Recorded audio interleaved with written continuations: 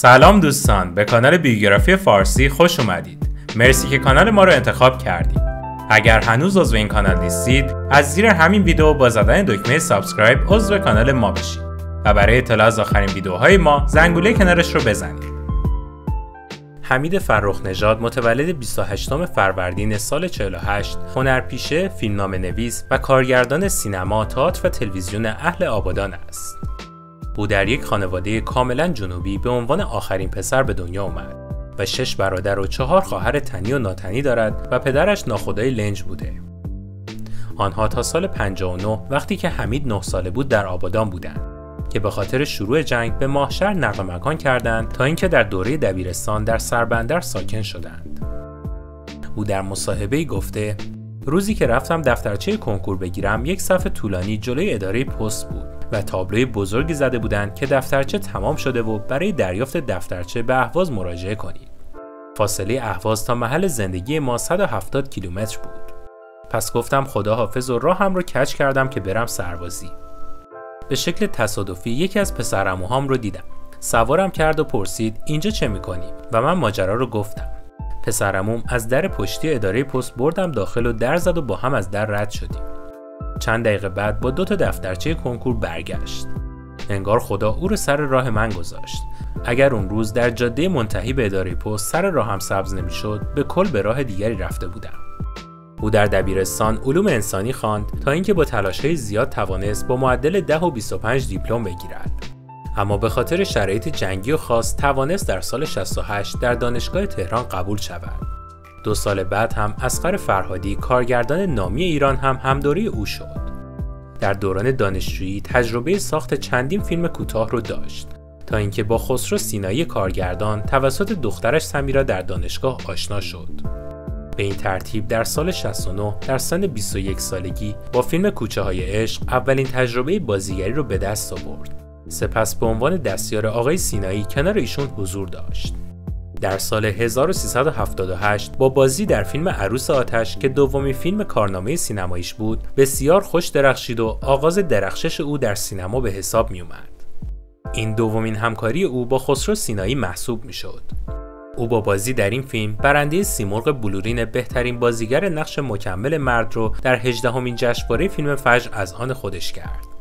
فیلمنامه این فیلم که توسط فرخ نژاد و سینایی نوشته شده بود هم سیمرغ بلورین بهترین فیلمنامه رو دریافت کرد.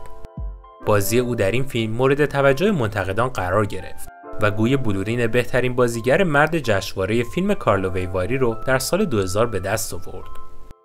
فیلم ارتفاع پس و برنگ ارغوان دو همکاری قابل توجه و موفق او با ابراهیم حاتمیکیا بودند. تبل بزرگ زیر پای چپ هم فیلم بعدی او محسوب می شد که بازی قابل توجه او بار دیگر مورد توجه منتقدان قرار گرفت و جایزه بهترین بازیگر نقش اول مرد رو از جشنواره بین‌المللی فیلم مسکو در سال 2006 دریافت کرد. او همچنین برای بازی در فیلم های گشت ارشاد دو و خوب بد جلف نامزد دریافت سیمرغ بلورین بهترین بازیگر نقش اول مرد از 35 مین دوره جشنواره فیلم فجر شد. چهارشنبه سوری اولین همکاری او با اسقر فرهادی بود که در کنار هدیه تهرانی قرار گرفت.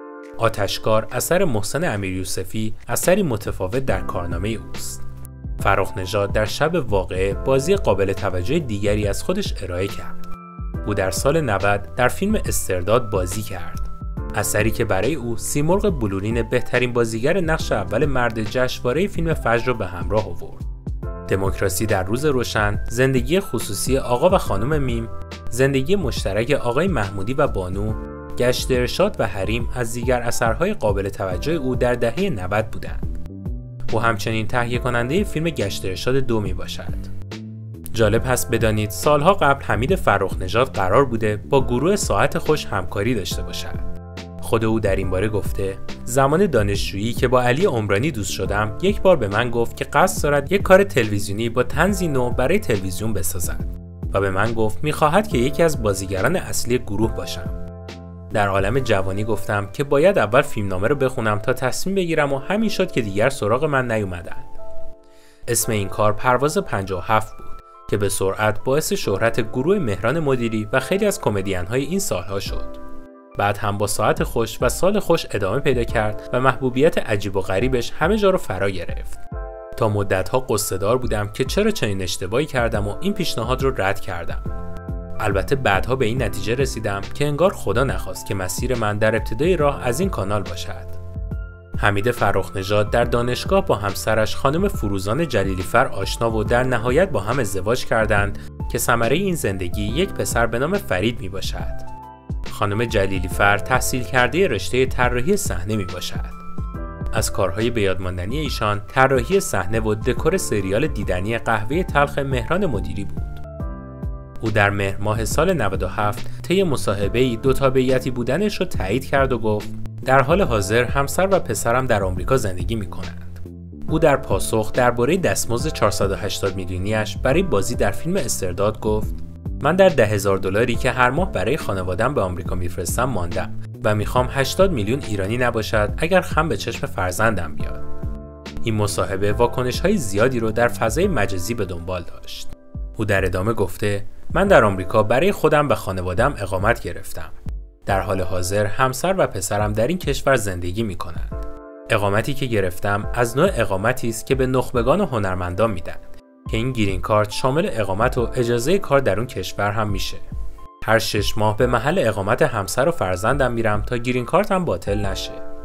در سال 1398 به دنبال تحریم جشنواره فجر توسط هنرمندان و تهدید یک نماینده مجلس به ممنوع کاری هنرمندان معترض حمید فرخ نژاد اعلام کرد که او هم به رغم اون که اثری در این دوره جشنواره نداره اون رو تحریم می‌کنه او خطاب به نصرت الله پژمانفر نماینده مشهد در مجلس شورای اسلامی نوشت در همصدایی با مردم عزادار و معترض ایران و همچنین در جهت حمایت از همکاران خود جشنواره فیلم فجر را تحریم می‌کنم.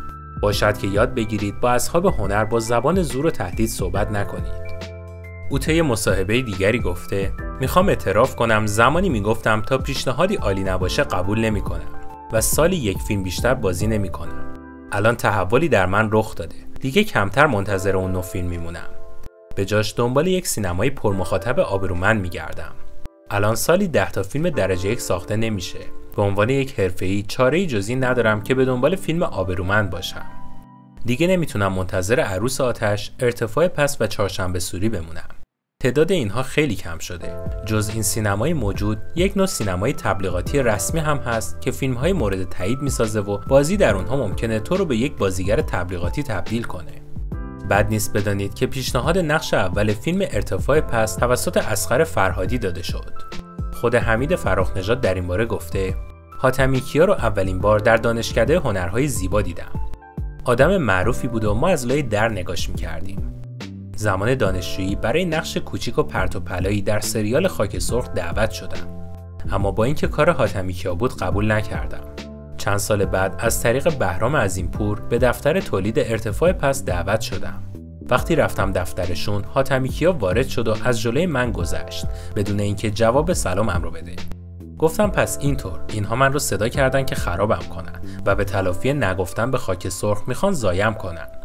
تفلکی ابراهیم اصلا اینطور آدمی نبود ولی اون موقع برای خودم اینطور تعبیر کردم. البته قبلش در دفتر اسقر فرهادی که داشت سریال در شهر رو میساخت فیلمنامه ارتفاع پس رو خونده بودم. فرهادی درباره فیلم حرف زد و حتی گفت برای نقش اول من رو پیشنهاد داده. از داستان فیلم و شخصیت جنوبی قاسم خوشم میومد فیلم چهارشنبه سوری به کارگردانی اسقر فرهادی یکی از مهمترین فیلم است که فرخ نژاد در اون بازی کرده. او در این فیلم شخصیتی به عنوان مرتزا رو بازی می‌کنه. اما در جشنواره چند سال پیش ای که تا دقایق آخر قرار بود به فرخ نژاد داده شود به او اهدا نشد. پیش از برگزاری مراسم اختتامیه به حمید فرخ نژاد گفته شده بود که قرار است سیمرغ بهترین بازیگر به خاطر بازیش در فیلم شب واقعه به او داده شود. حمید فرخ نژاد هم تصمیم می‌گیرد جایزه خودش رو به سرتیب منوچهر کهتری فرمانده شکست حصر آبادان و عملیات غرورآفرین سامن الائمه اهدا کند. و پس از اینکه اهدای جایزه به فرخ نژاد قطعی شد حتی از سرتیب کهتری از شهرستان برای حضور در مراسم اختتامیه دعوت به عمل اومد و این فرمانده جنگ در مراسم اختتامیه حضور یافت. اما در لحظات آخر گویا اتفاقی رخ داد و جایزه بهترین بازیگر مرد که قرار بود به فرخ نژاد داده بشه به بازیگر دیگری داده شد حمید فرخ نژاد بازیگری بوده که اگرچه از سوی برخی مورد انتقاد قرار گرفته که نقشهای تکراری بازی می کند اما خودش به شدت سعی کرده که نقشهای شبیه هم نباشند. مثلا پس از بازی در فیلم ارتفاع پس و عروس آتش در فیلم دوئل به او پیشنهاد بازی شد. فیلمی که از خیلی لحاظ بینظیر بود و تنها ترسی که باعث شد این کار رو رد کنه شباهت ظاهری شخصیت این فیلم با دو فیلم قبلیش بود.